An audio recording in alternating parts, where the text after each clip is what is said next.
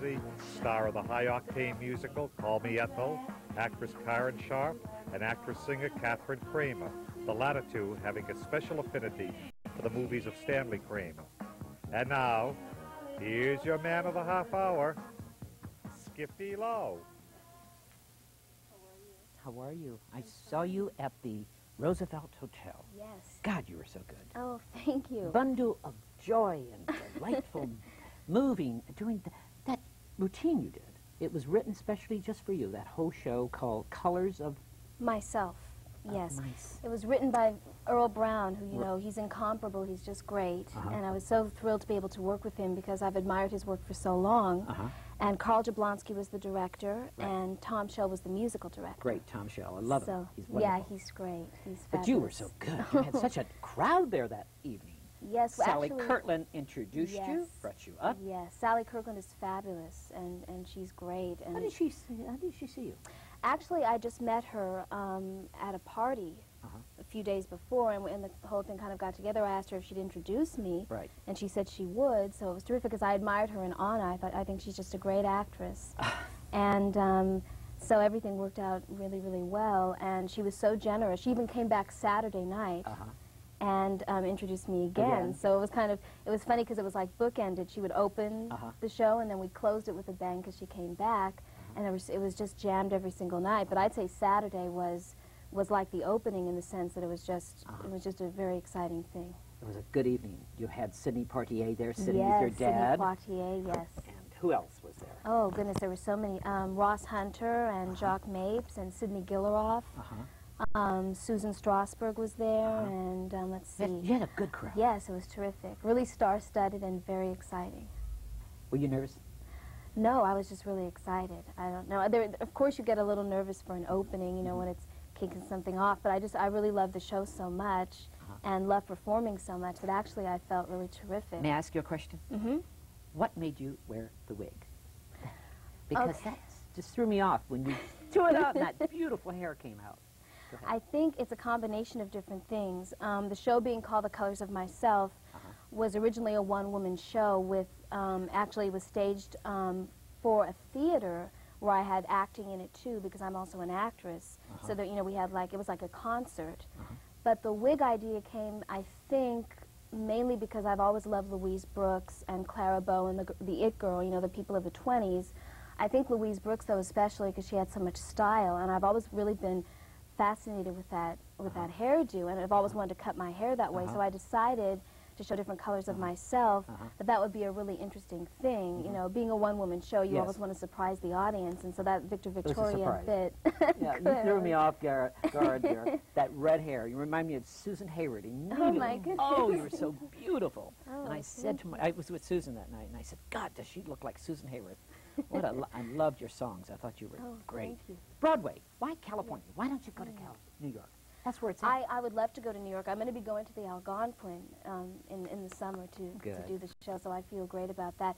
Um, actually, I was born here, and then I moved away for a while. Uh-huh. But New York, and I think in, in this business, um, it's important to kind of be bi-coastal because there's work in both yes, places. yes, I agree.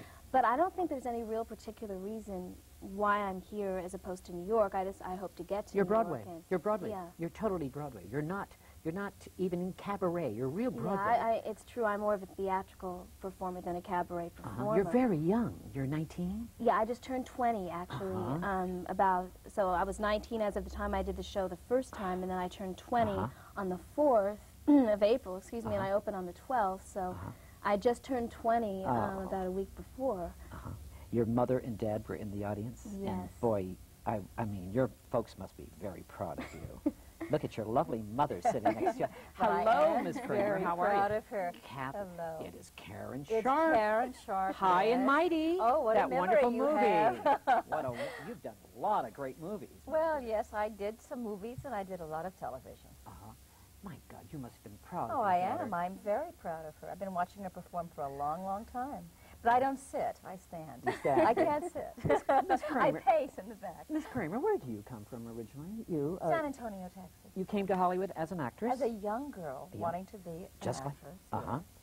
And uh, in those days, it was a little luckier Uh-huh. because um, Luckier. I like that word. it was word. luckier. Yeah. Well, yes, I'll tell you why. Because I'm watching Katharine go through some of the things that I went through. Yes. Trying to get a foothold, trying to get a start, trying to get people Yeah. to come and look at your work. Yes.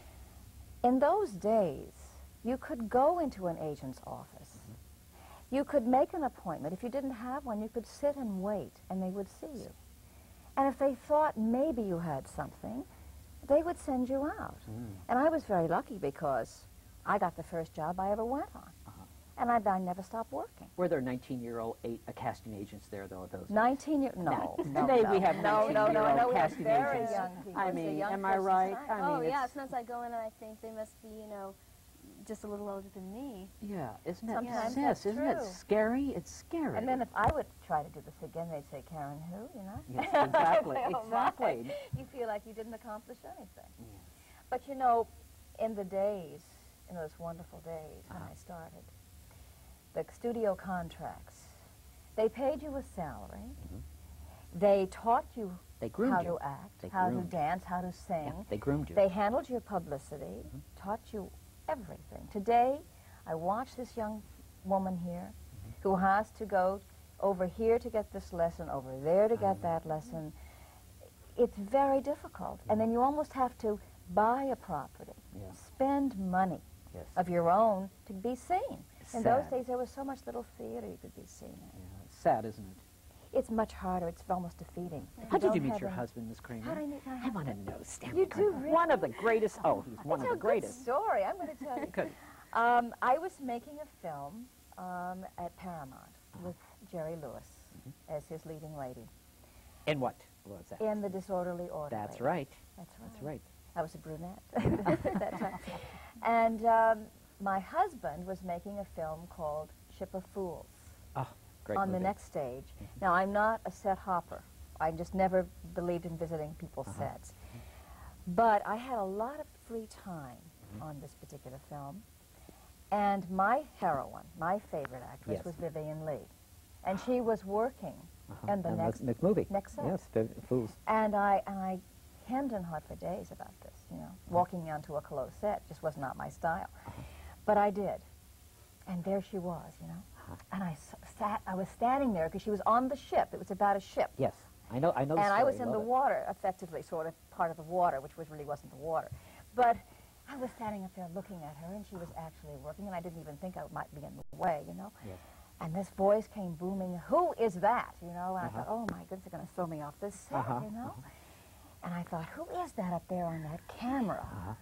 And they said, that's Mr. Stanley Kramer, and, and he wants to know who you are. I said, oh my goodness, I'm he's going to throw me off the set. so I, um, I went back twice, and each time I went back, that happened. So a few days later, uh, makeup artist who I knew that was on Stanley's film said, you know, Mr. Kramer would have liked to have met you. And I said, well, why? This picture's cast, you know. well, he began to call my, my manager and Yes. my agent, and I wouldn't give him a date for at least a year. You didn't? No, I said, you never, I never go out with those people. You know, if they ask you out and they want to kiss you goodnight, Yes, I'm yes. going to say no. I I'll never work with those people. I bet he fell in love with you the first time you seen you. Because I think you are absolutely lovely Oh, lady. you dear. Thank Your you. mother is lovely, darling. Thank See? I bet he did But- fall in love with her yeah. the very first time. Oh, I we saw were married just a few months So you later. moved, y- but then you uh, then you were married for a while, and then you moved to Seattle after. Mhm. When Katharine was born and Jennifer, I have four children. I have two Four stepchildren children, that really? I raised of my husband's. I consider them mine. Uh-huh. And uh, then we had Katharine, and we Uh-huh. had Jennifer. And are all in the business? Are they They're all? all, well, except for our son, who's a professor at UCLA. Oh, uh-huh, But all my girls are in the business. My oldest daughter is a director, uh-huh. an actress, Who's that? Which- Casey Crane. Casey Kramer, yes. And then there's Katharine. And then I've got Jennifer warming up in the bullpen, but she's going to university in the fall. what do you She's feel about your daughters being in the business? I think it's a wonderful profession.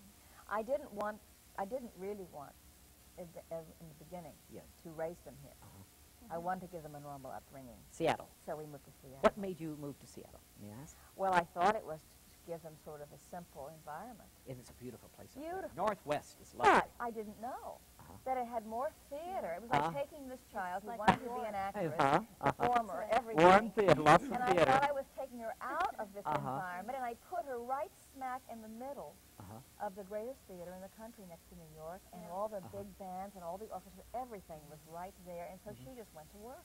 What made you So- fall in love with the big band music? Oh, well, that's interesting. God. Um, actually, as a, as a kid growing up, and I'm talking like the ages four, five, and six, I would never ask for like nursery rhymes or anything, or well, I liked Winnie the Pooh for a while, I guess. But it was Broadway musicals and Judy Garland Yes. and Frank Sinatra and people like this.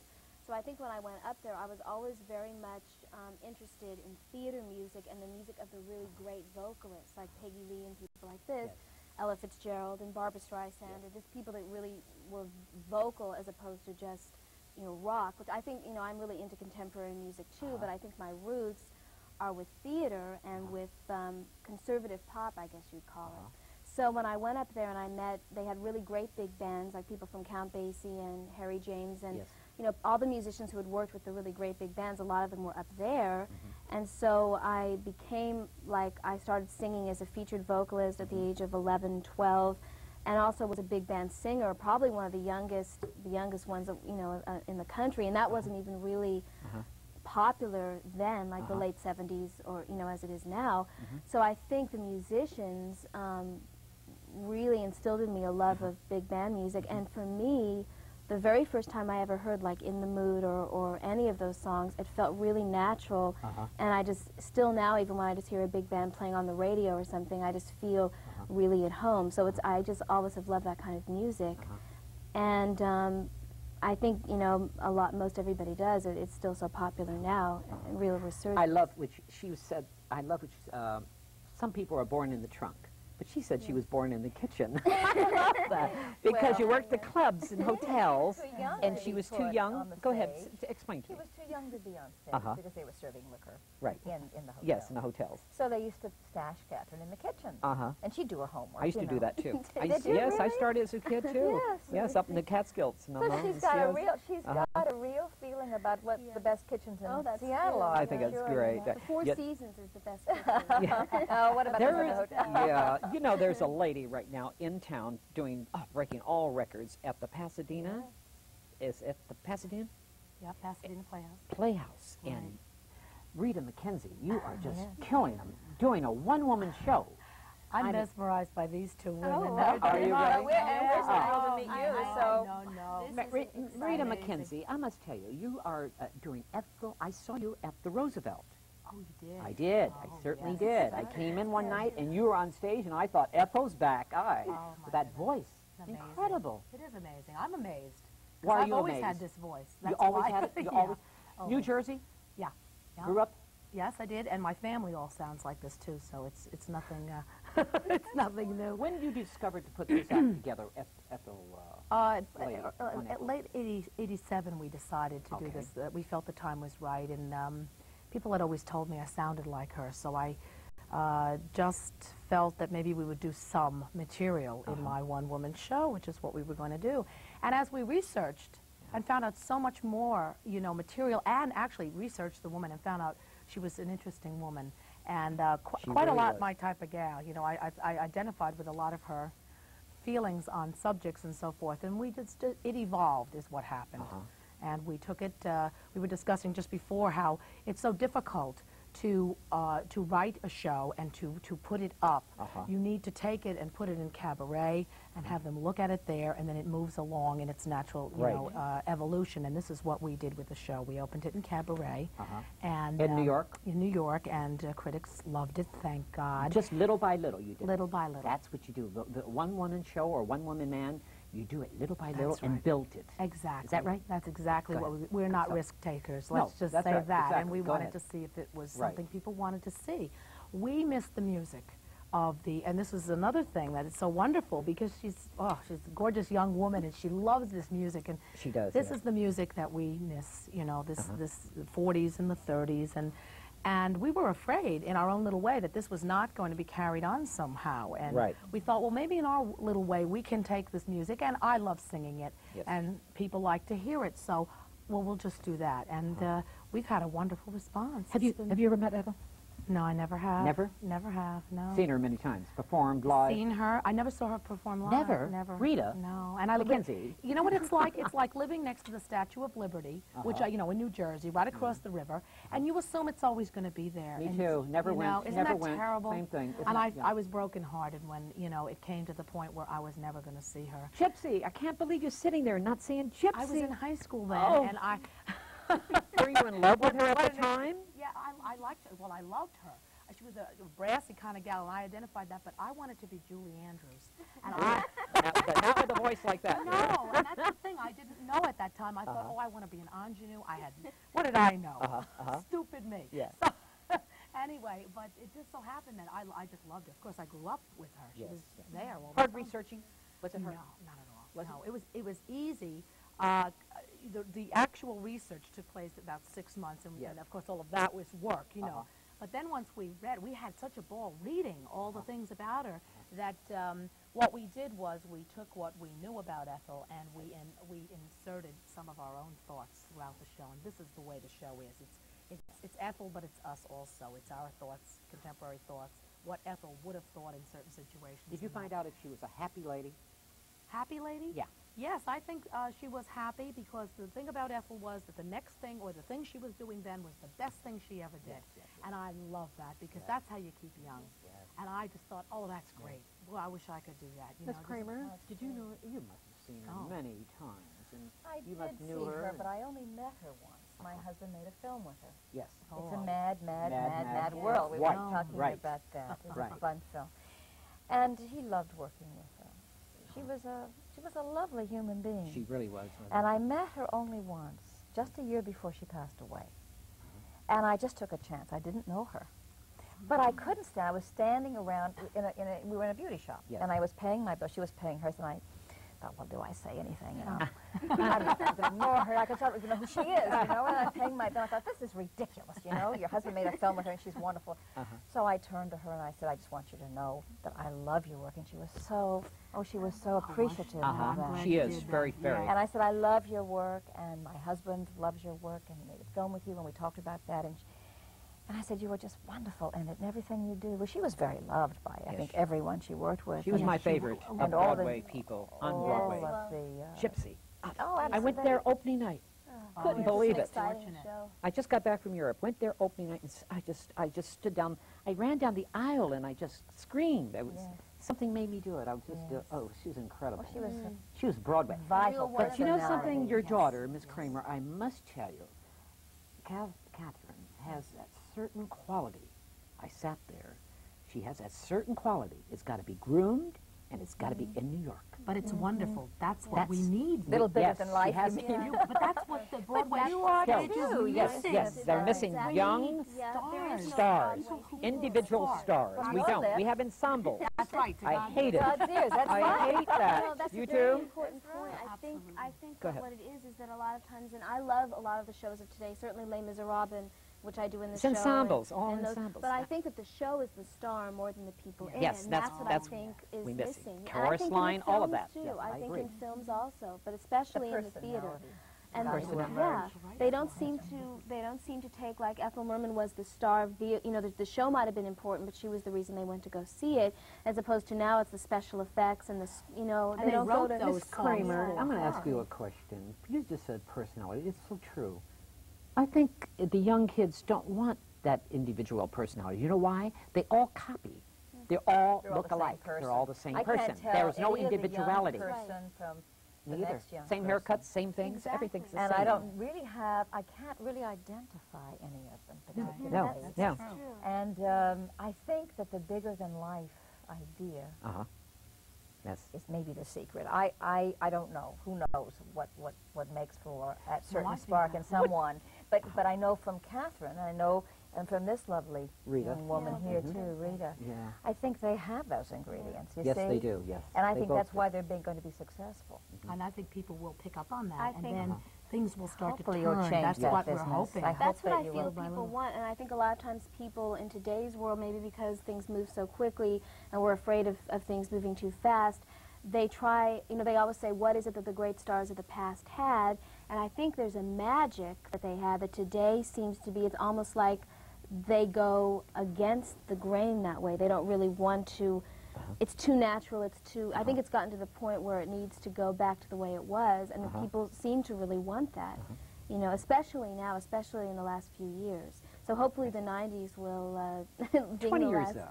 What does Katharine Kramer really want? I mean, really, I know you, you're a very fine actress, wonderful performer. What are you aiming you. for? What, what are you really aiming for? Broadway? I think my goals are basically to be um, to conquer all aspects of the medium, though that may seem kind of bold. Broadway, records. No. film, television. But you want to do it right. the right way. Right, right. Colorism Yeah. Yeah. All the people I, most of the people I admire um, have been able to be successful in all mediums, you know. And, Judy and Garland. Judy one Garland. Yes, Judy Garland is like my favorite singer, and I do portions of her in the show. You know, she was successful. She didn't do Broadway though, which was interesting. Liza, you know, Liza. What made you Broadway. do uh, the Clark Gable thing on stage uh, at the Roosevelt? That's Yeah. the color. Yeah, that's. May I ask you what what made Sure. You mean what made me use the, the, the that picture? particular? No, the particular song. Well, Like- it was one of Judy's first trademark songs. Right. Um, as you remember, Zing Went the Strings of My Heart, which I also did. That was the first song she sang when she was, Uh-huh. what, 12 years old. I think she might have been a little older, but they said 12, you know, Yes. for MGM. That was the song she sang when she actually was signed. And I, You Made Me Love You, which was already a popular Jolson song. I Um, really wanted you to do "Blame It on My Youth." I don't know Oh, that, well, I Judy, Judy never sang that except oh, on. not um, to her, but something else, and that's and that's another. You know that. You know, it's I- I interesting to say that because I love that You song. do? Oh, yes, I was Michael waiting for you. Yeah, Michael. I love uh, Michael. told me that would be I, I you know I knew him when he was first um, but I met him through Liza Minnelli Uh-huh. actually and I knew he You was knew at the going to be- Mondrian. I knew him when he first arrived in town. Met him in Seattle. I actually I met- met him oh, in yes? Seattle yes in fact um, Like, no, he, it's right when I it's an interesting Uh-huh. story when I saw Ma'am? him I saw him on television on Merv Griffin and I was so interesting because me being a big band singer and people saying that wasn't popular and he's you know he was a lot older so you know I saw and I thought my goodness he's singing all the songs that I love Wonderful. and he's going to bring it back in and it was so interesting seeing a unique performer who wasn't afraid to do his own no, he thing wasn't. you know Not at all. and so when I met him, I asked him, um, I said, listen, I'm just, you know, you're already on your way up with Yes. this, but I've been singing these songs for so long, and I'm only like, what, 15 or something like Uh-huh. this. But do you think there's a place for this? Because everybody I speak to says, well, in New York and, and California, this just isn't going to go over. You have to be Madonna or you can't, Right, you know, do right, anything. uh-huh. And he said, no, it was difficult, but he was just getting, um, Liza had just found him and decided to mentor Uh-huh, him, and, uh-huh. and, you know, he's really, he just went right all the way up there. And, and I think At the think, Mondrian Hotel, they threw Yeah. that big thing for Rosemary Clooney. Tell me something. Business, sensational. I understand. It's Yes, you're doing at the, the. It's at the Balcony Theater, is Yes, we're there At the until sun, uh, Sunday night. Uh huh. And then we move to New York to the American Jewish Theater. The American Jewish Theater in New York City. hoot? I love it. I love it. a hoot for a month in June. Oh, And uh, so uh, that's on 28th Street. Uh-huh. And then we're, um, there's a lot of other things coming up after that, uh, some other cities. I uh, think you're great. I really do. Thank I you. think- Are you an Thank you. actress also? Oh, yes. You oh, are? yes, definitely. Before you were, uh, Oh, you did acting in New York. Oh, definitely. Yes. I mean, you you know, this is this is it's a it's one of those stories. You know, after you know, 12, 15 years, I'm just. Miss you know, Uh-huh. Kramer, you have got to hear her shout that. One, I, got- we She's can't- coming. I want to hear one note of that mouth coming out. trying to see the show. Yes, we have. have? And when I found the preparing article and, and, Oh, yeah. You should see it. You should. We're going to, now that we've closed, she's closed. Yeah. Please, you've got to see it, yes. we're going to We'll come get- see She's wonderful. She really is. want to see Definitely. that. We're gonna bring Screaming note of that. Come on. I want to hear it, Rita. Come on, Rita. Give her, a, give her that note. Give that see. mouth. Come on, I got rhythm. I got music. I got my man who could ask for anything more. Ah, that's great.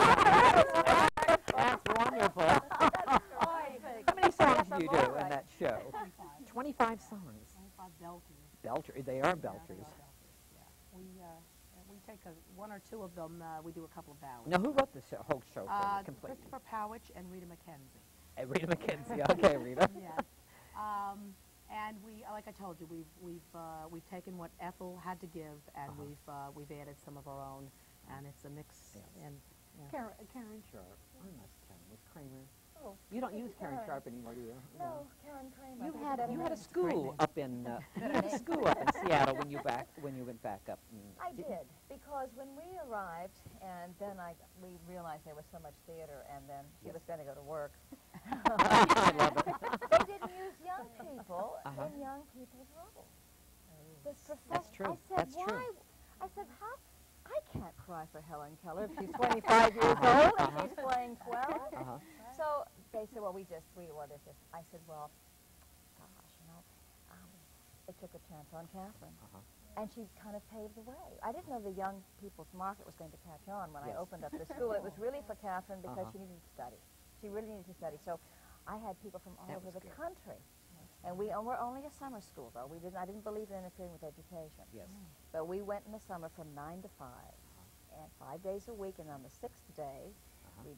We lectured. And I had Jane Fonda come up. I had Henry Winkler come Uh-huh. up. I had Robert Wise. I- wonderful. We had, and then Stanley directed the show. At the end How of lovely. it, and each young person did. They all danced, and they all had to sing. If they specialized in a special thing, they did that on the show. And we had internships in the summer with all the major theaters. Lovely. Fortunate. So it was it was a, something that I was very very proud of because I think it made a contribution. Now I stressed because I think it was more important. It's more important to be a human being first and then an mm-hmm. actor second. I agree. And Yeah, that was sort of right. our philosophy of the school. That's important. That's wonderful philosophy your mother just said, That's and you been, live I by was that. raised by that. Yeah, That's- so that's- she used that as the symbol of the school. And a lot of people who have gone on to, well, all, every single one of the students in there have gone on either to Yale or, They've all gone or to college except to New York of or. Juilliard, or they've gone on to lovely work. And Lovely. She's absolutely lovely and very talented. really. oh, thank you. Very, very Well, they all felt that the What's school really, really gave them their basis, Uh-huh. and that's what I feel too. I mean, I've studied a little in New York Yes. too, but really, um, the teachers that she had up there, and most Uh-huh. of them were from the Guthrie Theater from New York, and Mm. the, the guests that just the, the you know it was really the inside of Well, the you business. build a and- school on what yeah. you what you know you need when you get out there in this profession. It isn't just academic. No, that's You know, you have to have the academics, but you have to have professionals who have done it. Mhm. Because it's a different way of working. And you've got to know how much money it costs to do it, just to hang in You've there. learned from the The elders, best. the best. Yeah, the best of That's the the- business. that's Boy, that's the- terrific. These kids today are learning from kids, and they'll Mhm. never That's learn. right. The kids are teaching kids. And go ahead. Well, I was just going to say what you were saying and what we were discussing earlier. It's very important, I think, and this is hopefully um, what I can try. I try and you know tell my contemporaries this without sounding preachy. The business, they always say, "Why was it so great before?" I think it's because there was a certain tradition, and if those people don't pass that on, mm-hmm. you know, if they don't try and learn from the True. greats and people that are that they think they won't, you know, listen to someone who's older than they are, who's in an authority position.